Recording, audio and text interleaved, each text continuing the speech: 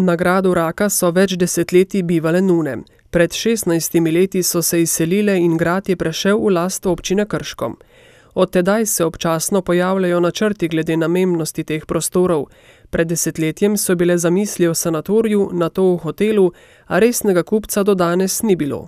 Trenutno imamo dva interesenta, od katerih je eden nekoliko bolj oddaljen iz Rusije, drugi je pa tukaj iz Ljubljane, tako da računam, da bo tokrat mogoče nekoliko bolj resna tudi želja kupcev, da to kupijo.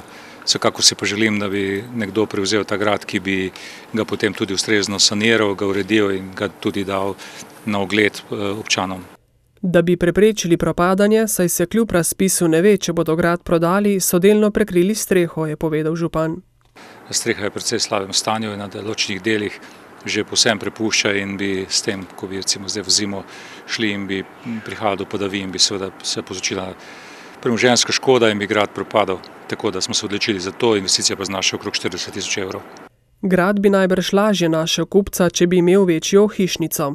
Zemljišče okrog njega namreč ni v občinski lasti, sicer pa bi bilo najbrž naprodaj po primerni ceni, meni župan. Grad ima s kletjo, pritličjem in nadstropjem dobrih dva tisoč sto kvadratnih metrov uporabnih površin.